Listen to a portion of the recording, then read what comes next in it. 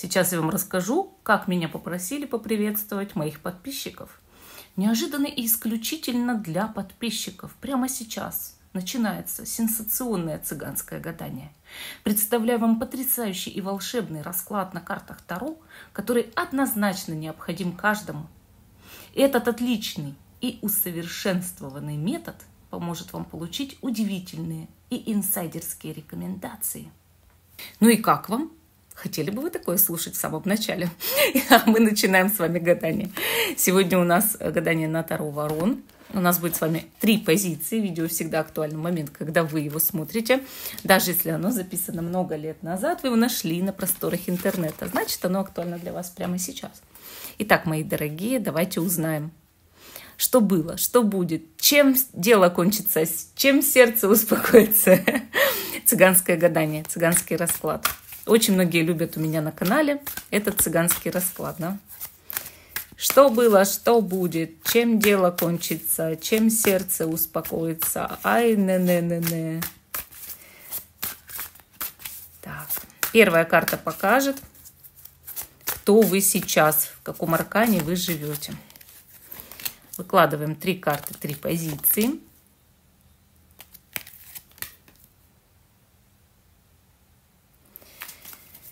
И наши духи.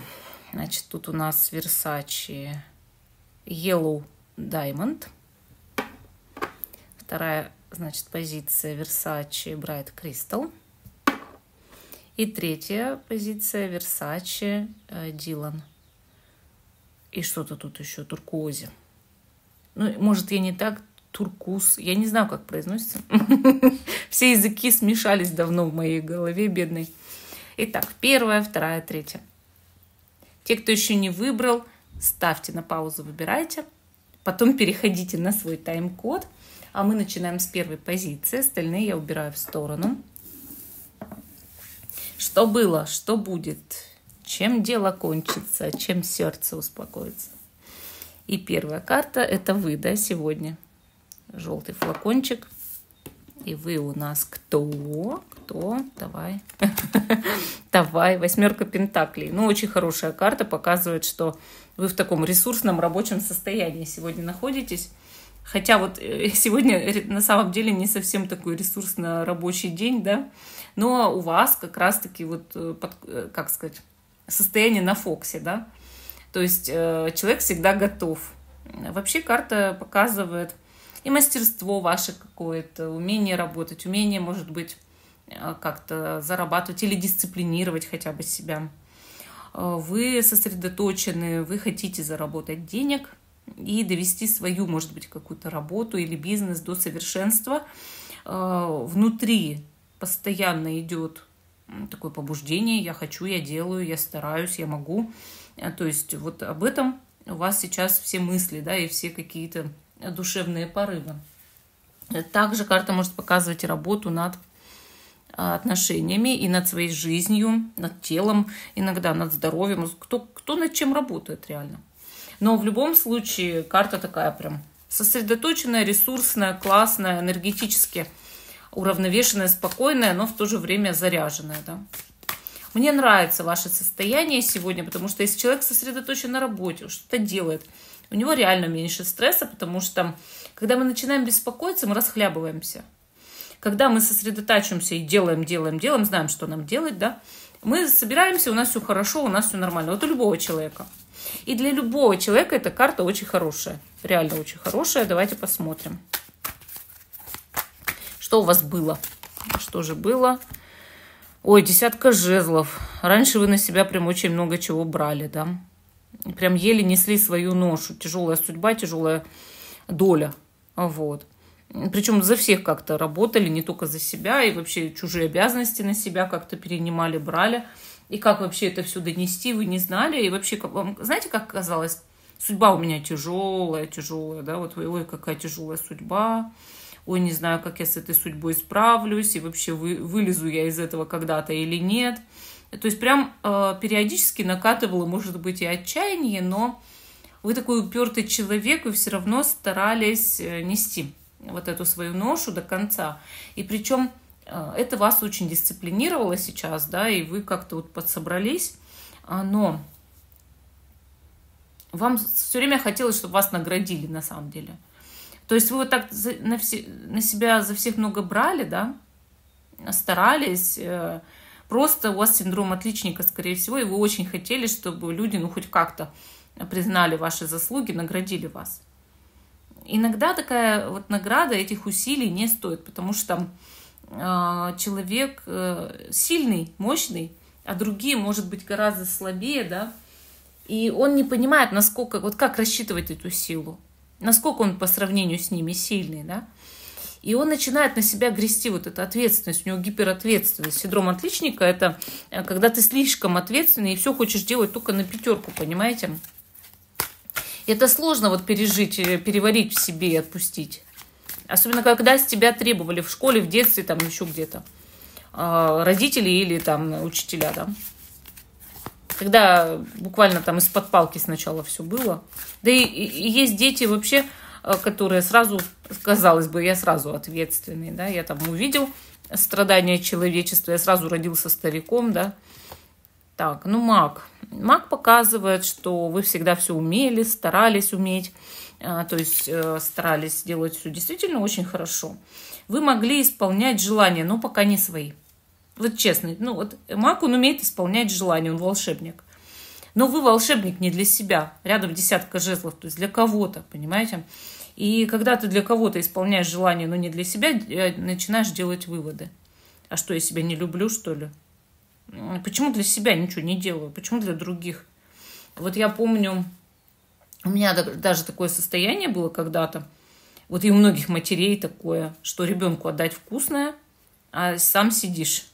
Потом думаю, вот и начали это даже обсуждать все, да, и в социальных сетях, когда появились социальные сети.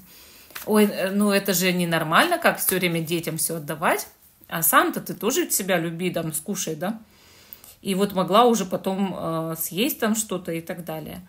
И вот тоже был этот синдром отличника, и я понимала, да, что я могу исполнять кучу желаний, но не своих, никогда не своих. То есть одежду себе там, ну, не хотелось покупать даже.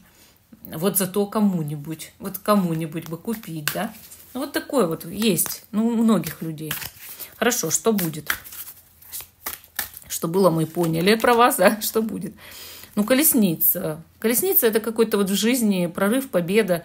Это не только дорога, это не только поездка, там, да, вот как многие говорят, ой, поездка будет. Ну да, может и быть и будет, конечно. Но все же на этой карте кто-то только что кого-то победил и взмывает в небо. Лавровый венок а, и такое счастье, окрыленность, я победил. А, то есть там где-то поверженный внизу противник, да, а я победил. И вот, как говорится, все мне аплодируйте. И действительно аплодируют. То есть, понимаете, впереди победа. Но какая победа? Вы, скорее всего, займете какое-то руководящее место в будущем. Э, может быть, просто станете где-то в чем-то главными, да? А, но карта не исключает, конечно, дороги, переезда, поездки, глобального переезда даже иногда. То есть не просто из дома в дом. Иногда в другую страну люди улетают, уезжают. Ну вот. Да и сейчас-то тем более, да. Но в жизни это прорыв в любом случае. То есть и переезд иногда это настоящая победа. Или поездка да, куда-то, иногда это настоящая победа. Ну и дальше у нас иерофант. Вы будете в будущем очень уважаемым человеком, реально. То есть тем, э, кто действительно ну, постарался завоевать авторитет в обществе, но даже не просто слово завоевать, нет, а скорее, как сказать, заслужить. Ну, то есть э, у вас будет какая-то определенная жизненная позиция, на которую другие будут равняться, советоваться с вами, вас поставить действительно уже вот сочетание этих карт точно на какое-то руководящее место, либо вы будете хозяином бизнеса или хозяйкой, или ну, хотя бы главой семьи. Вот. Ну или рядом с главой, если вы женщина. Но вас не меньше, чем главу семьи будут воспринимать, уважать, да. И к вам, к вам все идут за советом. То есть вы уже, в принципе, сосредоточены будете на том, что что-то делать не ради денег, а ради э, самого этого дела и веры в это. А вот именно в что-то, во что-то конкретное вы будете верить. Ну, это такая очень прочная жизненная позиция. Очень часто показывает очень крепкий брак – то есть, когда семейное положение действительно вот устаканено полностью, и э, ты в этом семейном положении нисколько не сомневаешься. Ну и также, допустим, а, бизнес-работа, да, но вот ты не сомневаешься в своем положении, вот где ты сидишь и что ты делаешь. То есть ты крепко там сидишь, вот заседаешь. Может, вы в политику подадитесь, потому что, ну, очень часто эти карты показывают кого-то вот ого-го. Политик, директор, начальник, хозяин там, да. Ладно, или хозяйка. Ну, женщины занимают сейчас такое же, такое же место, как мужчины. Хорошо, чем дело кончится?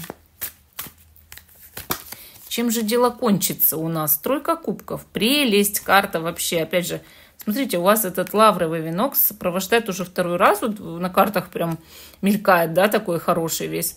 Карта очень хорошая. Говорит, во-первых, чем дело кончится? Радостью и праздником, да. Э, веселитесь, вот оно изобилие, вот кушайте, пейте, вот прям такое. А, много вокруг хороших людей, может быть, даже новых людей, но хороших которые действительно за вас, и исполнение некоторых желаний, особенно в вопросах изобилия и отношений.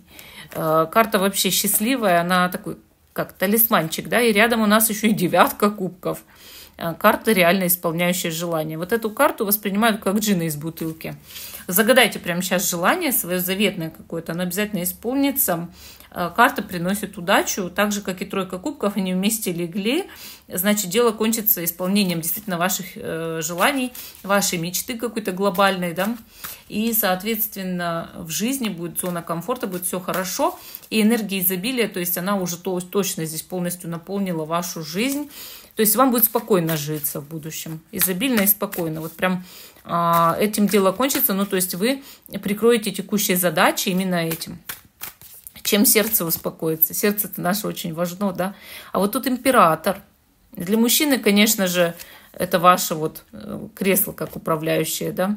Король кубков, но это точно уже вот для мужчины, даже мужчина и сердце успокоится, но не в плане отношений, конечно, а в плане э, ну, какой-то рядом человек, поддерживающий вас. Ну, допустим, вы начальник, он заместитель, да, или вы там какой-то специалист, он помощник, или еще как-то. Или сын, да, сын иногда поддерживает отца, отец сына, то есть вот так. И знаете, как еще? У вас-то вот это вот самое управляющее место, да, оно тут прям видно а, для женщины, ну вот либо, рядом у нее двое мужчин очень важных для нее, да, допустим, муж и сын или еще как-то либо э, это ее вот жизненная позиция очень высокая, но все равно любимый человек рядом. То есть в любом случае сердце успокоится э, успехом любви, любимым человеком и очень устойчивым положением в личной жизни. Ну, такой ответ у нас получился по первой позиции. Очень мне понравилось. А мы идем с вами дальше к позиции номер два. Цыганский расклад. Что было, что будет, чем дело кончится, чем сердце успокоится. Итак, наш розовый флакон и первая карта – это в каком аркане вы сейчас живете. Королева мечей. Такая строгенькая карта в каком-то смысле, потому что, с одной стороны, э, это собранность, это дисциплина и требования от других, не только от себя. Я требую, я знаю, что я хочу, да. То есть вы на какой-то вот э, своей позиции прям таки уперлись. Я бы сказала, что-то доказали или доказываете.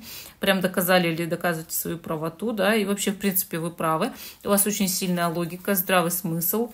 Вы своей логикой часто рубите собеседника, да, в разговоре. И попробуй переспорь попробуй, э, вот пока аргументы логически не приведешь, да, с доказательствами, ты меня не переспоришь. Вот у вас такая позиция в жизни. А, для мужчины может быть важна очень какая-то женщина сейчас в жизни, да, а, но она скорее какая-то строгая женщина или знака воздуха с асцендентом в воздухе, но все-таки она какая-то правильная. Вот многие, кстати, вот воздушные знаки очень требуют правильности, особенно весы. Поэтому, да, вот она жесткая. Она жесткая, но она справедливая. Э, конечно, это очень уверенная в себе, мудрая женщина для мужчины. Целое испытание, вам скажу. Она вас видит просто насквозь. Если вы женщина, то вы реально приняли, возможно, какое-то решение. Вы можете быть для многих наставником, учителем. Может, вы, в принципе, учитель. Э, и э, вы на все смотрите без, как это сказать, Ой, когда ты без предрассудков, да, и без э, лич, перехода на личности. Вот что я хотела сказать. То есть э, старайтесь э, абстрагироваться от личной симпатии или антипатии к человеку, когда вы о нем как-то рассуждаете в голове. Хорошая карта, твердая жизненная позиция, устойчивость. Ладно. Ну, часто одиночество показывает, конечно. Бывает такое. Вот часто королева мечей показывает одиноких людей. То есть это люди кого-то либо потерявшие, либо, в принципе, одиноки по жизни. Но не всегда, не всегда. Итак, что было? Что было? Мужчина какой-то, король жезлов. Ага, пятерка пентаклей. Ну, вы знаете, карты показывают кармические взаимоотношения, особенно для женщин. А, у вас были конкретно вот прям отношения с испытаниями, причем и с испытаниями в плане денег. И, в принципе, очень много и похожего между вами с этим человеком, но параметры, когда у людей похожие, испытаний гораздо больше, чем когда объединяются противоположности, потому что противоположности друг друга дополняют – а, люди, похожие друг на друга, усиливают свои негативные качества. Вот у вас рядом был такой человек, неважно, мужчина вы или женщина, вот скорее даже так, потому что, да, если вы мужчина, вы в прошлом были королем жезлов, если вы женщина, рядом был король жезлов, но рядом пятерка пентаклей, очень часто показывающая и нищету, и а, бедность, да, и нехватку денег, и кармические взаимоотношения одновременно. Поэтому с кем бы вы ни были, что бы вы там в отношениях не выстраивали, у вас усиливались негативные качества друг друга из-за того, что это похожие негативные качества. Ну, допустим, двое бедняков поженились. А, усиливается негативное качество какое? Бедность, нехватка денег. А, двое людей без образования поженились. Усиливается негативное качество отсутствия образования. Двое людей а, сварливых поженились они э, теперь обсирают всех вокруг, и с ними никто не дружит. И так далее. Я не знаю, какие... Нету, я не сказала, что то, что я перечислила, у вас было. Это может быть что угодно. Двое ревнивцев поженились, избили друг друга. Понимаете?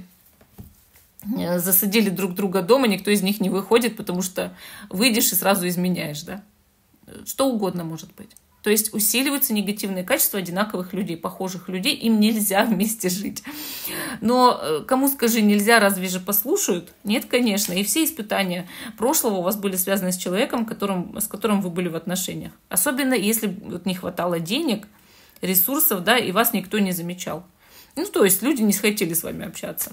Почему? Потому что вот вы объединились, товарищи мои дорогие. Вот возьми по свою противоположность. Э, ты, допустим, молчун, а он общительный, да? У вас будут друзья за счет него, общительного. А, вы оба болтуны, да, у вас будет очень много друзей. Вы оба молчуны, у вас не будет ни одного друга. А, взять э, молчуна и болтуна, им обязательно нужно жить вместе. Тогда э, молчун не будет страдать от того, что у него нет друзей. Вот. Поэтому, как ни крути, вам нужно сделать выводы из прошлой ситуации из прошлой жизни, из прошлой связи. Вот так. Хорошо. А, будущее. Что, что будет? Что будет? Башня. Башня. Туз мечей. Э, ну, смотрите, вам что-то нужно в жизни поменять. Вот прям кардинально. Будет кардинальная перемена в жизни. Причем не факт, что вы ее будете гладко прям переносить это перемена, выход из зоны комфорта вот на 100%. Да? И раз это выход из зоны комфорта, это нужно вот как-то перенести. Понимаете, башня это для многих очень удобное укрытие. Вот почему мы вообще в жизни в своей выстраиваем башню? Это вот стены от внешнего мира. И когда мы э, видим башню, да, вот эту такую вот огромную, которая начинает рушиться, это значит, что вы там засиделись. Это значит, что вы создали для себя, по сути, некую эмоциональную тюрьму, из которой нужно выйти, но поменяв свою личность.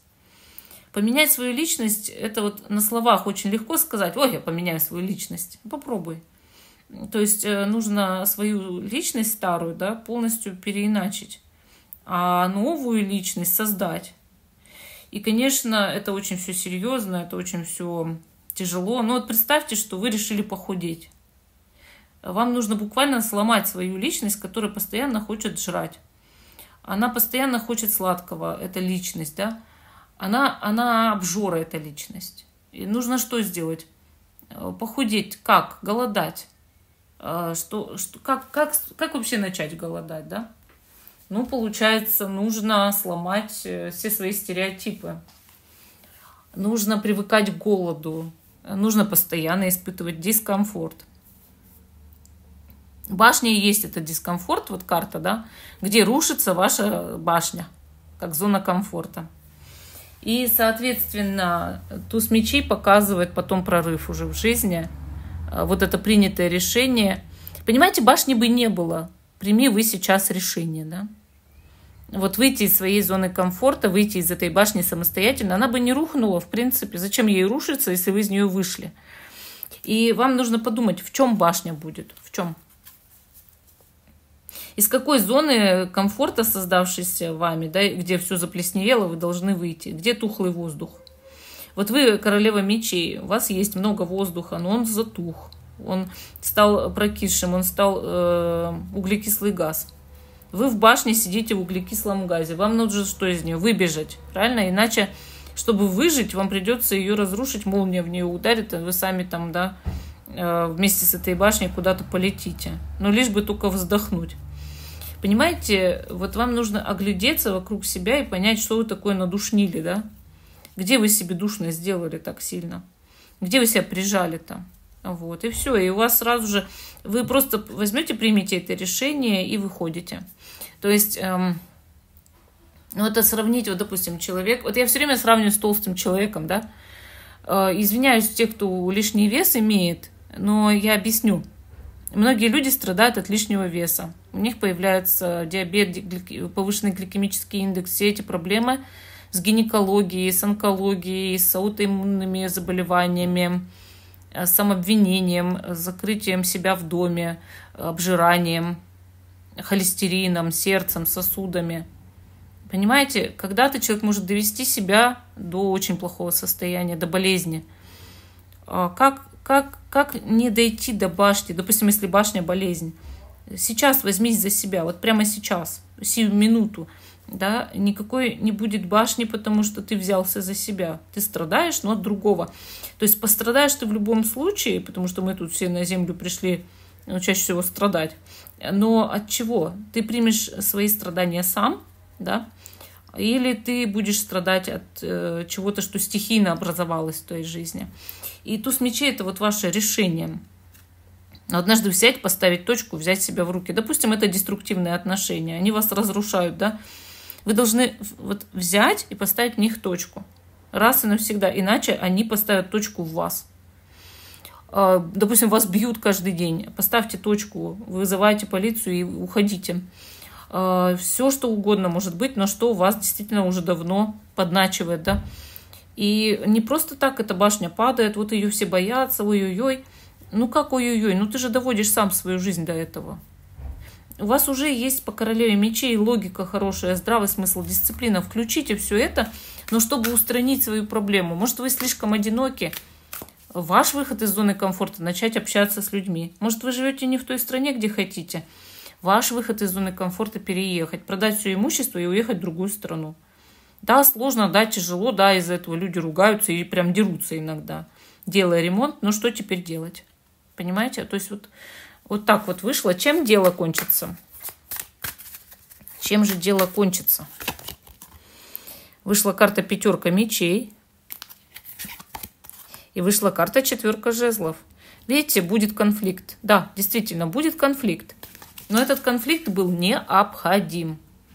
То есть принимаем решение завести этот конфликт сразу. А может даже и ни с кем не спорить, и ни с кем не враждовать, да, а именно принять решение о переменах, изменениях.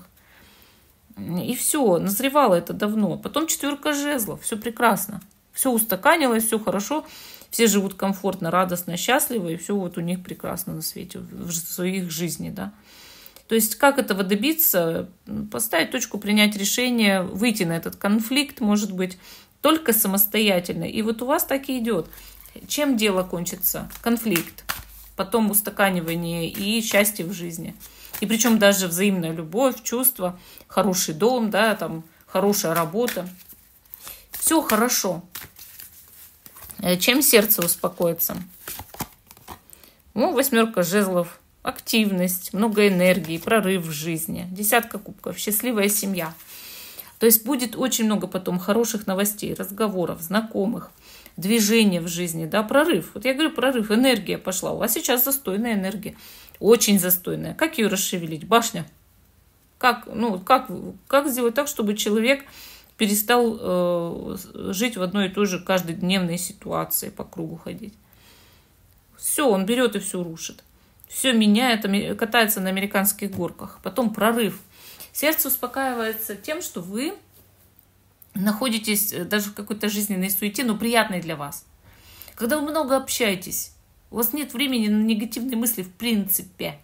И десятка кубков, ваши домашние счастливы, у вас хороший дом, семья, дети, э, если, да, и тоже счастливы. И все, все хорошо, вы в прекрасном и рабочем коллективе находитесь. То есть ваша жизнь реально станет счастливой. Но перед этим нужно что-то менять. Я недавно зашла случайно на аккаунт вообще какой-то совершенно незнакомой женщины. Ну, что-то ткнула, видимо, там в Инстаграме. И она пишет, значит, пишет, что ей нужно э, после огромного перерыва там в три года, да, возвращаться и заниматься снова спортом, там, фигурой, там, и все такое. И это все через боль. Но она себя преодолевала. И вот еще одна женщина, я на нее прям подписана в Инстаграм, она за один год э, из довольно такого, ну, прилично наетого тельца, да, пошла в спортзал и стала в итоге победительницей конкурса культуристок. Можете себе представить, за год накачала полностью фигуру. Мышца за мышцей, как говорится, вот она высокая, красивая, поджарая, худая. Шикарная девушка. Шикарная. Девушка, причем за 30, да. И ну классно выглядит, ну классно. Уже там ребенок большой уже там, да, и все. А дев, девушка выглядит просто там на 23-4 э, года, ну максимум 25. И понимаете, человек может всегда себя взять в руки. Ну, то есть даже не в фигуре дело, я просто примеры из фигуры привожу, да. Потому что самые э, такие яркие моменты, когда ты видишь, как преобразовался человек внешне. Поэтому я привожу такие яркие примеры. Но вы можете преобразовать ведь что угодно. Безденежье даже свое преодолеть. Что угодно, да, возьмись вы за это. Поэтому обратите внимание, смотрите, какие перспективы у вас, чем сердце успокоится, все счастье, все хорошо. Ну, вот такой ответ у вас по второй позиции. А мы идем с вами дальше, а, к позиции номер три.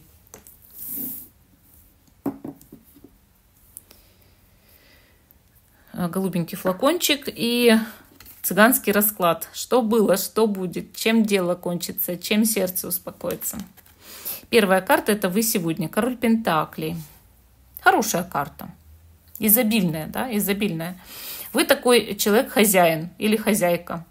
Ну, для женщины, да, здесь может быть важен очень какой-то мужчина, хороший мужчина, добротный такой, в принципе, может зарабатывать деньги, привлекать ресурсы в свою жизнь, быть самостоятельным, ответственным за других даже человеком, семейным, настроенным на серьезные отношения, да, ну, хороший человек – вот. Этот мужчина сейчас может быть важен в вашей жизни, поэтому вам выпадает на сегодняшнюю текущую ситуацию король Пентаклей. Но вообще сама по себе карта, вот особенно для мужчин, показывает все-таки какое-то высокое положение в обществе, уважаемый вы человек, э, человек, который может зарабатывать, который э, может быть начальником, хозяином или стоять на какой-то вышестоящей, руководящей или, как сказать, должности ну и также иметь бизнес. Вот. Быть хозяином или хозяйкой в доме, распоряжаться именно правильно хозяйством и ресурсами, уметь распределять ресурсы между людьми, и отвечать за близких. То есть вы можете беспокоиться о других, о близких, но вы в ресурсном состоянии и вы спокойны. Вот карта, она показывает часто вот просто волшебное спокойствие. Она говорит о том, что человек уверен в себе, и человек может, вот реально еще может много чего сделать в жизни, полезного и хорошего. Вы реально полезны, вот как таблетка, я не знаю, а, какая-нибудь э, лекарство, да, или там травяной настой. То есть вы вот настолько полезны. И, конечно, вас нужно прописывать каждому. Хорошо. Давайте посмотрим, значит, э, что у вас было. Паш Пентаклей. Хорошая карта. И рыцарь Пентаклей. Ну, вы много работали, и у вас есть результаты в прошлом.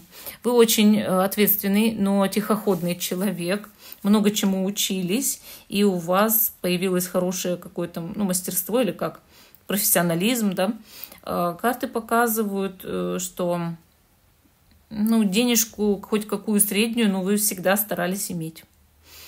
Вы такой человек, вот, что денежка к денежке, земная энергия – Э, материальная энергия, да, бережливы, довольно э, можете даже быть экономны, не транжира, да, но в прошлом рядом с вами мог быть подобный вам похожий человек.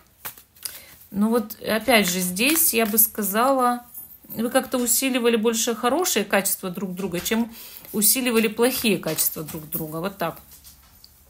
То есть, когда люди в такой, знаете, вот хороший рабочий тандем объединяются, Э, то у них как-то вот могут быть прекрасные результаты.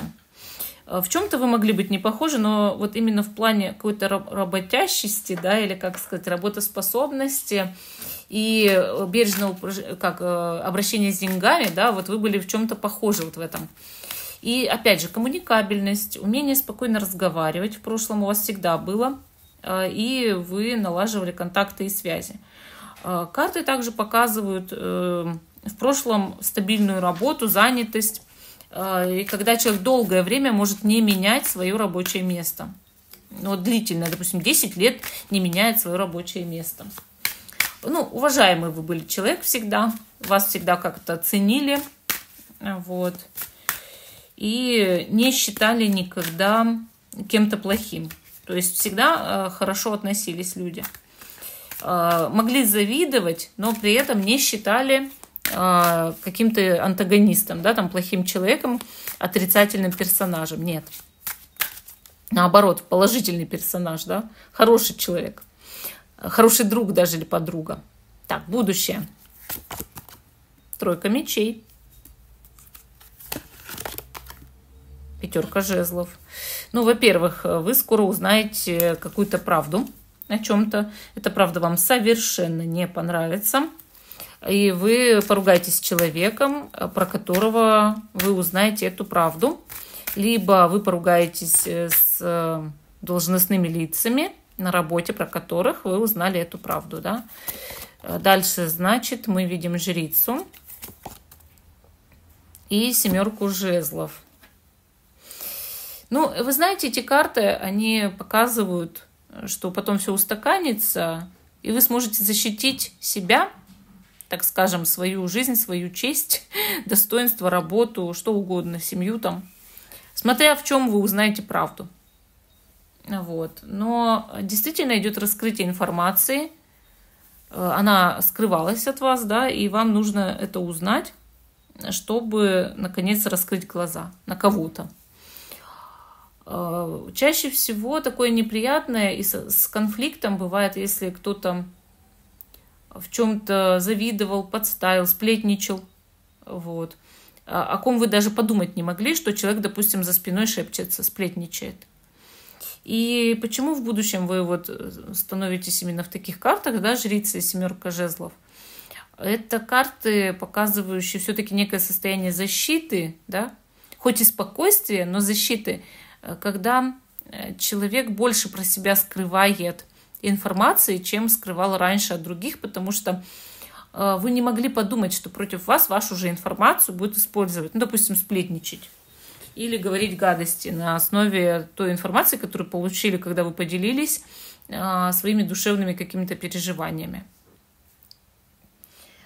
Но также может расстраивать что-то еще. Например, поведение наших детей, да, о котором мы раньше не знали, поведение близких. А, потом, допустим, там близкие кто, там родственники, да, ты не думал, что они начнут делить с тобой твое наследство. Или еще что-нибудь в этом духе, понимаете? Вот вы как будто узнаете, или кто вас раньше подставил, хотя не знали, кто это был. Вот что-то в этом вот такое. И, конечно, вы ссоритесь. Ну почему? Потому что когда ты любил человека, хорошо относился, вкладывал в него силы, а он тебе вот такое, да, и ты, конечно, ругаешься. Конечно, ссоришься с ним, споришь. Ну и потом все, говорю, спокойно, устаканилось, все нормально, да. Все теперь живы, спокойные, там, здоровые, довольные, но меньше распространяются о своих делах. Так, у нас перевернулась королева жезлов. Возможно, речь идет о какой-то женщине. Вот то, что я вам сказала, да, это речь идет о женщине. Ладно, теперь смотрим, чем дело кончится. Карта суд выпала и отшельник. Видите, чем дело кончится? Суд и отшельник. Во-первых, вы духовно выросли. То есть э, дело кончается тем, что вы возрождаетесь, э, высшие силы вас исцеляют, возрождают, полностью реабилитируют да, в жизни вот в чем-то. И э, духовный рост, развитие. Может быть, вы найдете даже в жизни своего какого-то наставника, своего гуру, да, кто будет вам действительно давать полезные советы после того, что вы узнали, вам действительно, мол, нужны будут советы, потому что вы были раньше в себе уверены, вы не думали, что можете кому-то не доверять из своего окружения. И чем сердце успокоится, туз, ой, паш кубков, извиняюсь, паш кубков и туз пентаклей. Прекрасные карты. Вот, кстати, не зря я говорилась про туз. Тут же туз выпал. А, вообще, эти карты счастливые. Чем сердце успокоится, большим счастьем. Будет какой-то волшебный жизненный сюрприз приятное знакомство, рядом э, близкий или любимый человек. Вот какие-то прям волшебные чувства. Может быть известие о беременности, рождении ребенка у вас или у кого-то из близких. Туз Пентаклей показывает большие деньги в будущем процветание, богатство и большие шансы на обновление жизни. И даже, опять же, на какое-то возрождение в жизни. Вот Бог дает вам э, новый шанс, новую жизнь, новый Пентакль, так скажем, да, и, опять же, развитие дела, бизнеса, работы, большие деньги. А, как будто бы вы обретаете свое богатство, но через что, да? Именно через вот эти испытания, вот эти какие-то проблемы с человеком, как говорится, выясним, кто у нас подставщик, кто у нас гнина, да, такая. Потому что а, жить, когда у тебя там у кого-то из близких или из сотрудников нож за пазухой, тоже неприятно, ты же не знаешь, о ком речь, да. Лучше выясни, кто такой наглый и противный, пользуется твоими ресурсами и выгони его. Все. Вот вы так сделаете, сделайте этот шаг, как говорится, энергетического вампира устраните из своей жизни и смотрите, сколько, сколько сразу хороших ресурсов, возрождения, и все прекрасно. Ну, вот такой у нас ответ по третьей позиции. А всем спасибо за внимание. Жду, что вы продолжите смотреть мой канал. Ставьте этому видео лайк, если понравилось. Не забывайте подписаться на канал. Видео у меня только гадания для подписчиков. И до новых, до новых встреч!